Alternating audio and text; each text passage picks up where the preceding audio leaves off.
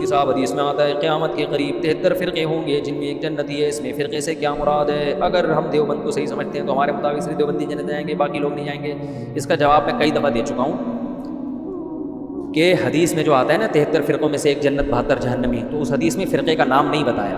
अगर नाम बताया बताया गया होता तो सारे वो नाम रख लेते। जैसे जमातुलमसलिमीन ने अपना नाम रख लिया ना, कि अल्लाह ने हमारा नाम मुस्लिम रखा है तो हमारा नाम क्या मुस्लिम? तो अल्लाह ने थोड़ी रखा तुमने तो तुम्हारे अपने अमीर ने तुम्हारा नाम मुस्लिम रखा है, ठीक है ना?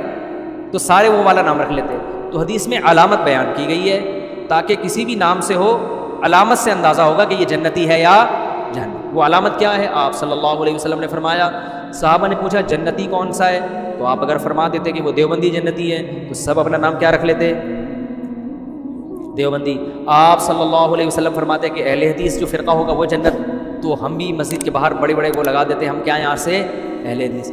आप सल्लल्लाहु अलैहि वसल्लम फरमा देते कि जी वो बरेलवी जन्नत में होंगे तो मेरी पगड़ी का रंग फ़ौर से पहले चेंज हो जाता। यहाँ नक्श पाक के निशानात होते और एक पीली चादर होती, चप्पल का रंग पीला होता, सल्लू अलल हबीब।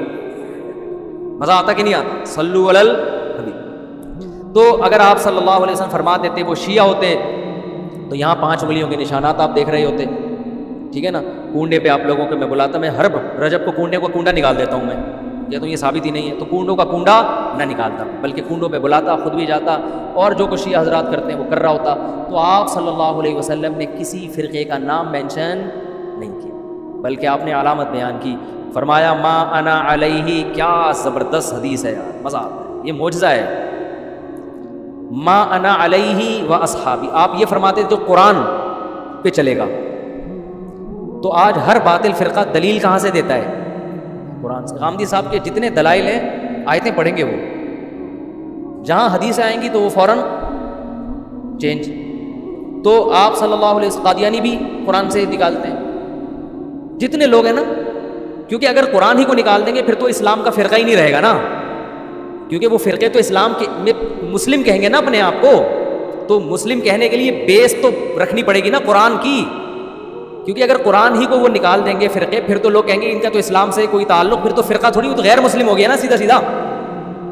यानी वो तो जो गैर मुस्लिम अपने आप को सीधा कहते हैं हम गैर मुस्लिम हिंदू थोड़ी कुरान से दलील देगा। तो इसलिए आपने ये नहीं फरमाया कुरान से दलाइल ने फरमाया नहीं, माँ अना अलही, जिस रास्ते पर मैं हूँ, वह असहाबी और मेरे सहाबा। क्या मतलब? कुरान की वो तशरी जो हदीस के अगेंस्ट जा रही है, उसको कबूल नहीं करना। वो फ़िरका जन्नती है जो कुरान की वो तशरी करे, जो जिस पर मोहम्मद सल्लल्लाहु अलैहि वसल्लम का अपना अमल था। परवेज़ी फ़िरका क्या कहता है? नमाज़ से मुराद जो कुरान में आता है ना, नमाज़ से मुराद है गैदरिंग हज से मुराद है एनुअल गैदरिंग साल में एक दफ़ा की गैदरिंग और नमाज़ से मुराद है दिन में पाँच दफ़ा आपकी मीटिंग हो फलाह बहबूद के लिए। तो नमाज़ की ये तशरी पैगंबर से साबित है?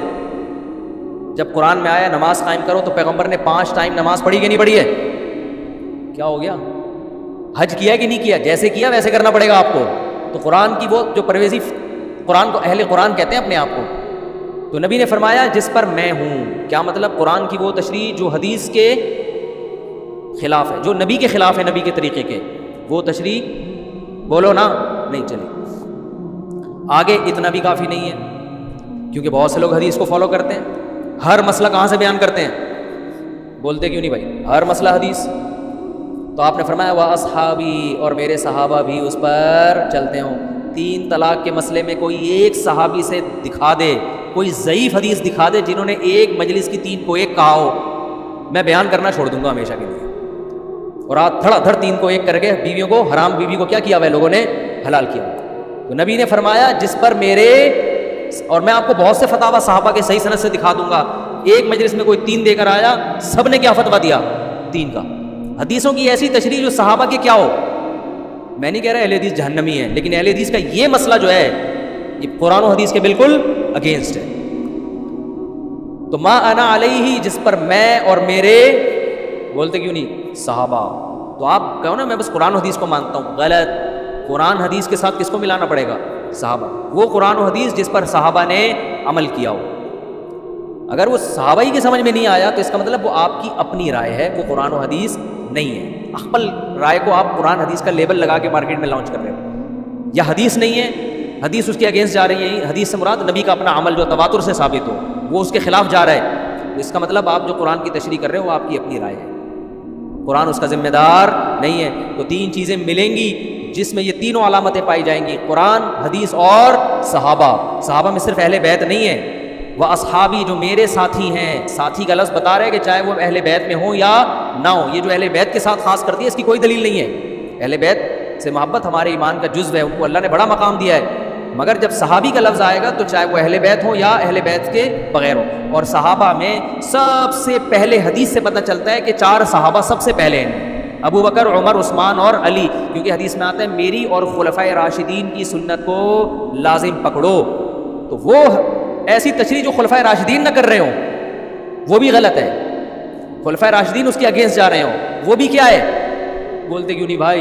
गलत है। तो साहबा में सबसे पहला मकाम किसका है? खुलफ़ा राशिदीन का, हज़रत अबू बकर का, उमर, उस्मान और अली रज़ी अल्लाह अजमैन इनके फ़ैसलों का बड़ा एतबार है। तभी अम्मा अरबा जो है ना, चारों इमाम अबू हनीफ़ा, मालिक शाफ़ी, हम्बल, इमाम इमाम अहमद हम्बल, इन्होंने साहबा के अमल को बहुत फोकस किया है। कोई हदीस की ऐसी तशरी नहीं की है जो साहबा के बिल्कुल अगेंस्ट जा रही हो। आजकल लोग हैं, उठ के बस कहते हैं इमामों को नहीं मानते तो कुरान हदीस को मानते हैं। तो आपके वो उसूल ही नहीं है जो कुरान और सुन्नत ने बयान किए। तो जिसमें ये दो अलामतें पाई जाएँगी, नबी ने फरमाया, वो फ़िरका क्या है? जन्नती अब वो चाहे किसी भी नाम से, वो देवबंदी में भी हो सकते हैं, वो बरेलवी में भी हो सकते हैं, वो अहदीस में भी हो सकते हैं, वो किसी में भी हो सकते हैं। ये दो चीज़ों को जो लेके चलेगा, कुरान के साथ हदीस और अमल सहाबा फिर उनमें अगर इख्तलाफ राय होता है तो वो फ़िरक़े में दाखिल नहीं है, क्योंकि ये इख्तलाफ सहाबा में भी हुआ सहाबा नबी की ज़िंदगी में भी हुआ, नबी ने दोनों को सही करार दिया। जैसे रफुल दैन करना भी ठीक और ना करना भी। क्योंकि ये जो इख्तलाफ है रफुल दैन का, ये कुरान, हदीस और सहाबा तीनों को मिला के हुआ है। हनफिया ने भी, कुरान को भी देखा, हदीस को भी और सहाबा को भी। उनकी राय ये बनी कि ना करना अफजल। और जो शाफ़ी है इमाम शाफ़ी, उन्होंने भी कुरान को भी देखा, हदीस को भी और अमल सहाबा को भी। दोनों के पास दोनों किस्म के दलाइल हैं। इस किस्म के इख्तलाफ में उन बहत्तर फ़िरक़ों में दाखिल नहीं होता, जिनके लिए जहन्नम की वईद है। बात आ रही है, समझ में कि नहीं आ रही? यानी इसके अंदर रह के फिर जितना भी इख्तलाफ हो जाए, वो इख्तलाफ, राय का इख्तलाफ है, इश्तिहाद है, उसमें दोनों को अजर मिलता है। जो इससे हटेगा तो नबी ने फरमाया, वो भी बहत्तर फ़िरक़ों में बटेंगे और वो बहत्तर के बहत्तर कहाँ जाएँगे? जहन्नम में। तो ये नाम नहीं बताया कि देवबंदी जाएँगे, कि बरेलवी जाएँगे, लिहाजा कोई ये कहते हैं कि देवबंदी जन्नत, जन्नती और बाकी सारे जहन्नमी, वो भी गलत है, क्योंकि देवबंदी तो बर सग़ीर में पाए जाते हैं। और कहाँ पाए जाते हैं, ठीक है ना? अरबी तो अपने आप को देवबंदी नहीं कहते, इसका मतलब मक्का, मदीना तो सारे कहाँ गए जब वही जहन्नम में चले गए तो फिर जहाँ इस्लाम आया था। और कोई कहते हैं, बरेलवी जहन्नम में जाएँगे? सॉरी, जन्नत में जाएँगे, अगर बरेलवी ये कहते हैं तो बरेलवी तो और थोड़े हैं मार्केट से, बिल्कुल। वो तो सिर्फ़ पाकिस्तान और बांग्लादेश और इंडिया में पाए जाते हैं। बाकी मैं बारह रबी अव्वल को मलेशिया में था, पता ही नहीं चल रहा था कि बारह रबी अव्वल तो इसलिए अलामत बयान की गई है। हाँ ये ज़रूर है कि नबी सल्लल्लाहु अलैहि वसल्लम ने फरमाया कि जो जन्नती फ़िरका होगा, वो हमेशा होल सेल के हिसाब से रहेगा। वो दो चार आदमी नहीं होंगे।